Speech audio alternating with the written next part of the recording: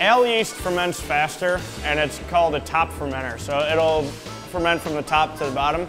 A lager yeast is a bottom fermenter, and it ferments at a colder temperature, so it goes from the bottom up. We do all German style lagers. The word lager is actually an old term for to store. Uh, when they were making lagers back in Germany, they would stash them in caves and barrels, and it, the caves would be about 50 to 55 degrees, so the yeast got used to eating the sugars at that temperature, and we still ferment at that temperature here. The lager yeast actually eats more sugars, so to make kind of a crisp and lighter body. So our beers are a little bit more sessionable.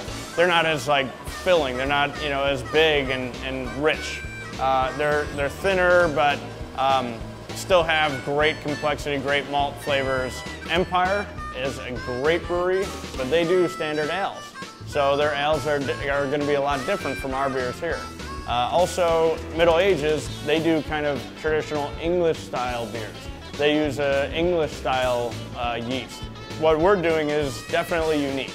We're making German style beers and is made, you know, to the purity law. Everything is from Germany. So it's, it's really a beautiful thing to, to be able to recreate that and, and serve it to you guys on tap right from our serving tanks and everything. So it's, you know, it's kind of nice to bring that, that style here.